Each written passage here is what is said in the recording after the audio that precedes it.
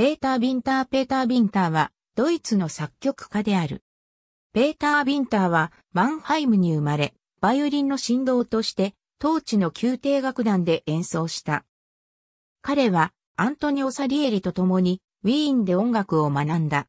1778年には、ミュンヘンへ引っ越して、その地の宮廷劇場のディレクターとなり、オペラやバレエ音楽などの作曲を始めた。1787年にミュンヘンで副学長の地位につき、1798年には宮廷学長に昇格して終生その地位を守っている。ビンターが1778年から1820年の間に作曲した30作以上のオペラ作品の中で失敗に終わったものは非常に少数であった。彼の作品で一番人気があるのは1796年にウィーンで初演されたオペラ、中止された奉献祭である。1797年から1798年にかけては、同地でエマヌエル・シカネーダー作のバビロンのピラミッド D ピラミダン、フォンバビロンと迷宮 Das Labyrinth を作曲した。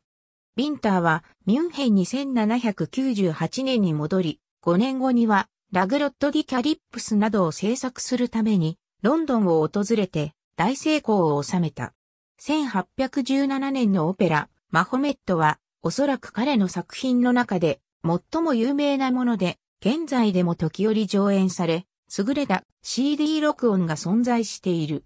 ビンターの最後の作品、歌手とシタテヤデア・サンガー・ウントデア・シュナイダーは1820年にミュンヘンで初演され、その5年後に彼は同地で生涯を終えた。ビンターはオペラなどの劇音楽の他に室内楽曲や26曲のミサ曲を含む宗教音楽を作曲している。彼の誕生日は明らかではないが、洗礼日は8月28日である。妨げられた封建祭とも訳される。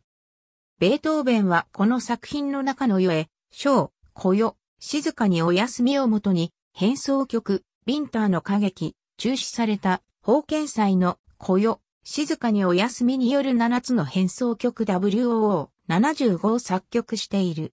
この2作は、シュカネーダーが台本を書いた、モーツァルトのジングシュピール、魔敵の続編にあたる。ありがとうございます。